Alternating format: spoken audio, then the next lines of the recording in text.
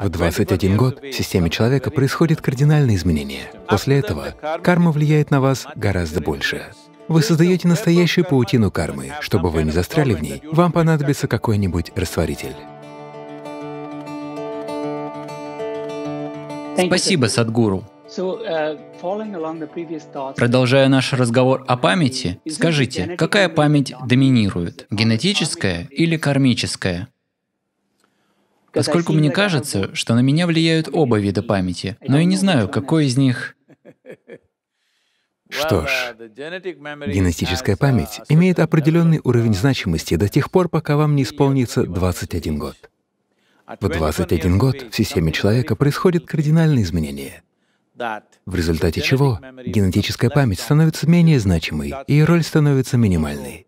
Многие родители удивляются тому, как дети, которые совсем недавно были так привязаны к ним, после того, как им исполняется 21 год, внезапно перестают относиться к своим родителям так же, как раньше, просто потому что генетическая память после достижения этого возраста начинает функционировать на более низком уровне. Таким образом, система создала своего рода защитный механизм для нашего роста, потому что человеческий ребенок не похож на других животных. У остальных животных 90% того, какими они должны быть, уже определено их генетикой. Им подвластны лишь 10% эволюции. Воспользуются они этим или нет, зависит от них. Но для нас определены только 10%. 90 же процентов оставлены на усмотрение самого человека. Из-за этого на ранних порах своего развития человеческий ребенок намного более уязвим. Для него благоприятная атмосфера играет гораздо большее значение, ему требуется гораздо больше заботы, ведь 90% предстоит создать ему самому, определено лишь 10%.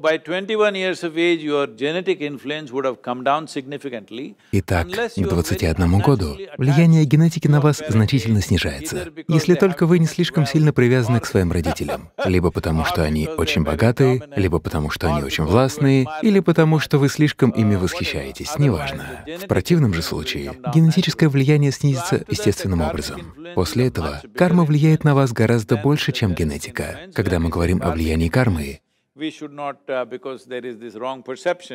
мы не должны... Существует неверное представление о том, что карма всегда приходит откуда-то из другой жизни или что-то в таком духе. Это вовсе не так. С сегодняшнего утра, с того момента, как вы проснулись, и до настоящего момента, ваше тело совершало свою физическую карму, ум — ментальную карму, эмоции — эмоциональную, энергия — энергетическую. Каждое мгновение. И в бодрствовании, и во сне. Но давайте рассмотрим только бодрствование. С того момента, как вы проснулись, и до сих пор, сколько из этих четырех аспектов кармы вы выполняли осознанно, если взглянуть на это. Я не хочу задавать вам вопрос, который я обычно задаю. Вы все доктора, так что я не буду спрашивать. Я просто скажу, а вы, пожалуйста, проанализируйте сами. То, что вы действительно осознаете, это даже не один процент, а гораздо меньше. Все остальное происходит неосознанно. Или другими словами, если не использовать слово «неосознанно», которое имеет негативный оттенок, давайте скажем, что вы существуете на автопилоте. Вы функционируете автоматически из-за кармической памяти. У вас так много памяти, что на самом деле вам не нужно думать. Вам не нужно думать, как принимать пищу. Когда-то в детстве Поесть было очень сложной задачей, особенно если говорить об индийской еде, которую нужно есть руками. Она постоянно падала. Но сегодня вы легко справляетесь с этой задачей. Вам даже не нужно думать, как правильно ее держать, что с ней делать, потому что это память, созданная вашей кармой. Карма значит действие. Эти четыре измерения действия всегда создают что-то, чтобы облегчить вашу жизнь, а не для того, чтобы запутать вас. Вы создаете настоящую паутину кармы. Но когда вы создаете паутину, у вас должен быть при себе какой-нибудь растворитель, чтобы не прилипнуть. Предположим, вы паук и создали замечательную паутину. В ней должны застревать другие, другие насекомые. Но если сам паук запутался в своей паутине, это глупый паук. Но именно это и происходит с людьми.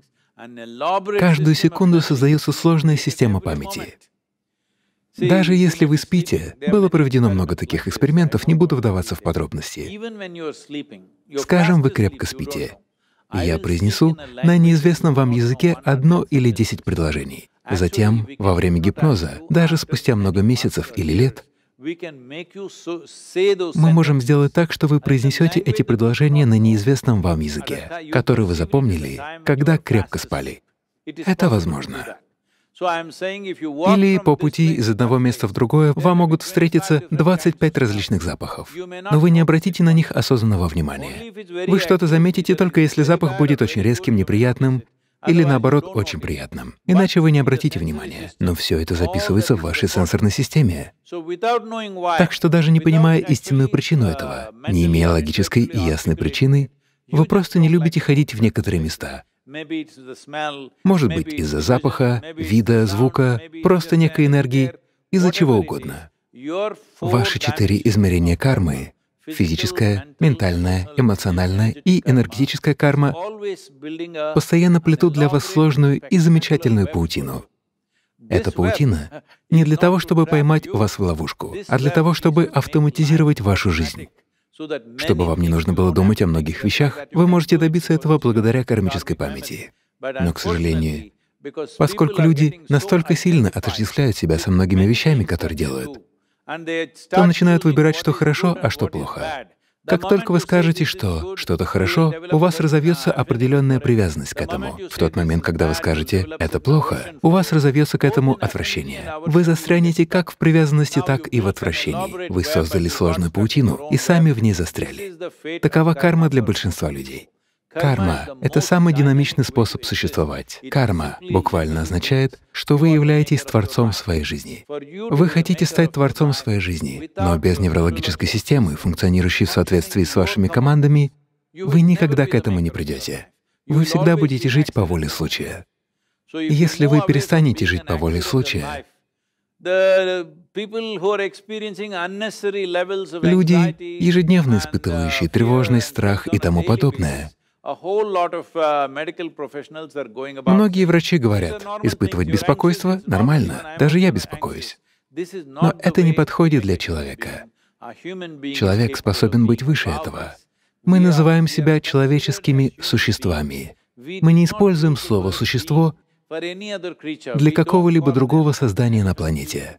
Мы не называем слона слоновьим существом, тигра — тигриным существом, муравья — муравьиным существом. Только людей мы называем человеческими существами, потому что люди способны существовать. Это означает, что вы способны к осознанному существованию, то есть вы можете использовать все имеющиеся у вас способности так, как захотите. Не компульсивно реагировать на то, что происходит вокруг вас, но отвечать осознанно.